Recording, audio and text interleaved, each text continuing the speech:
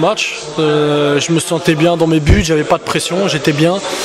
Euh, les premiers ballons, ils ont, ils bien été négociés de ma part. Donc à partir de ce moment-là, euh, bah, rien ne pouvait m'arriver. Donc j'étais bien, j'étais à l'aise. donc comme je vous ai dit, j'ai eu les premiers ballons, ça a été, bien. Donc non, moi, il, pouvait rien. À partir du moment où je me suis pas pris de but en première mi-temps, donc il pouvait, il pouvait rien m'arriver dans ce match-là.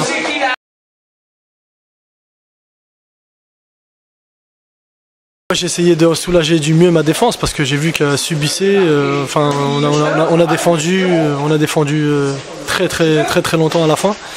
Donc ça a été dur à la fin. Donc bah, j'avais à cœur de les soulager. Donc quand je pouvais sortir, bah, je sortais.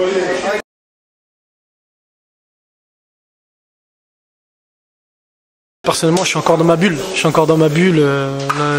franchement, là, je suis je suis dans un nuage encore, c'est que demain quand je vais me réveiller, dès que je vais regarder les journaux, c'est là où je vais comprendre conscience que euh, qu'on a, a gagné. Mais là je suis, euh, je suis vraiment dans ma bulle. Aujourd'hui je suis, euh, je suis très très content de, de ce qu'on a fait aujourd'hui et surtout le fait de ne pas me prendre de but ce soir encore une fois. Donc donc c'est bien, là je suis, là, je suis comme entre guillemets comme dans un rêve.